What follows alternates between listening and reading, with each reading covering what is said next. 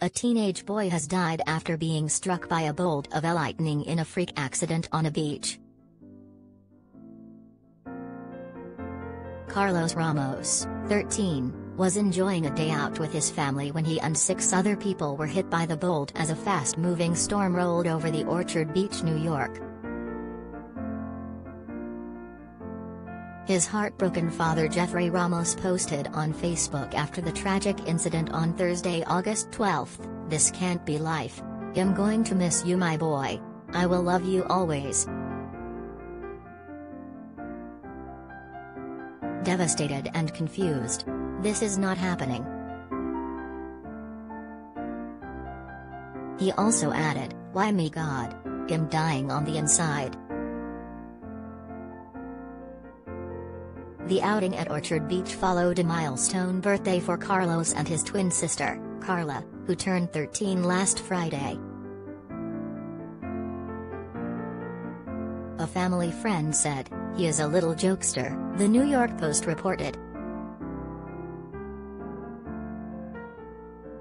Jessie Fuglo, 63, said told the New York Times that she lived next door to Carlos and his family and had known them for more than two decades. I will remember him for the rest of my life, Ms. Fuglo said.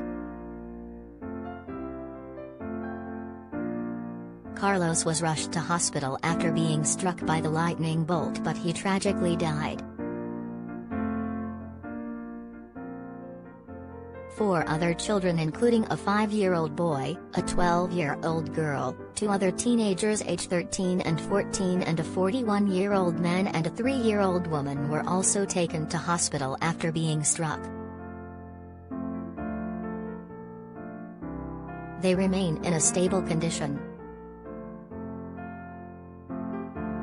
The tragedy comes just a week after another horrific lightning strike incident that killed 17 wedding guests in Bangladesh.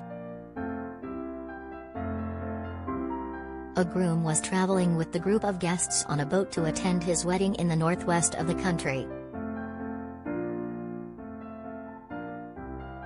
Heavy rain forced the boat to make an emergency landing with passengers disembarking to take shelter on the bank of the Padma River in Shibganj town. But the party was struck as it tried to hide from the torrential downpours, injuring 14 people and killing 17 as the bride waited for her future husband to arrive for their service.